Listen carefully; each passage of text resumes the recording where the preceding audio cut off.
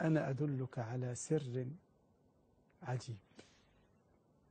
ووقت قد نغفل عنه أتدري أنه من الأوقات التي يستحب فيها السواك عند دخول المنزل؟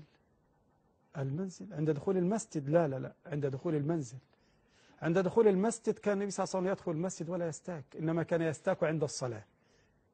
لكنه كان يستاك عند دخول المنزل.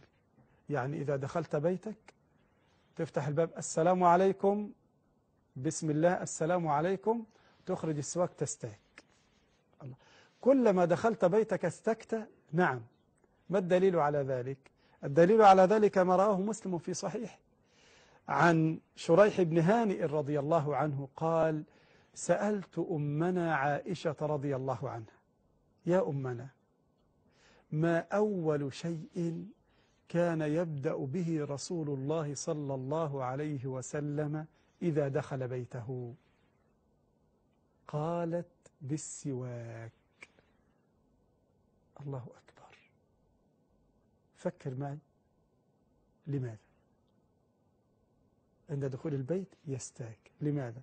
وسيلتقي بمن في البيت؟ سيلتقي بزوجته؟ وأولاده وأبيه وأمه.